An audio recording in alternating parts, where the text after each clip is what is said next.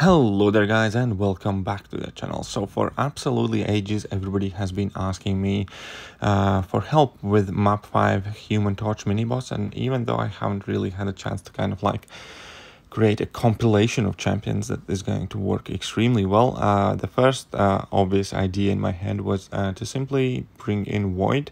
Even a 4-star Void would work in this case. Now, this Human Torch is still linked actually. He has that 1% per second heal node active, but in grand scheme of things, it changed nothing because the main aspect of this Human Torch is that massive buffet node, which heals him for absolute ton.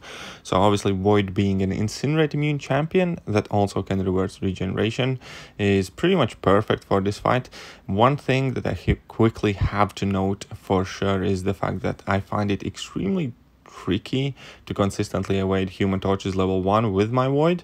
Uh, it's probably because of the longer dashback animation, but yeah, with vast majority of champions, I never have any issues evading human torch level 1. With void, it's not as clear cut and consistent. So that's something to keep in mind. Probably would require additional practice there.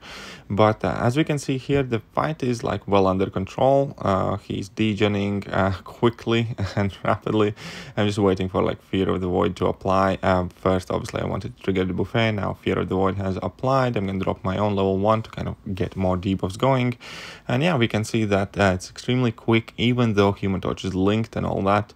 Uh, Void is pretty much perfect answer here for every everybody and I also wanted yeah to use the opportunity since this is the first time I have played map 5 in like absolutely forever. But anyways the fight is over and uh, that will do for today. So yeah catch you guys soon and don't forget to hit that like and subscribe buttons. See ya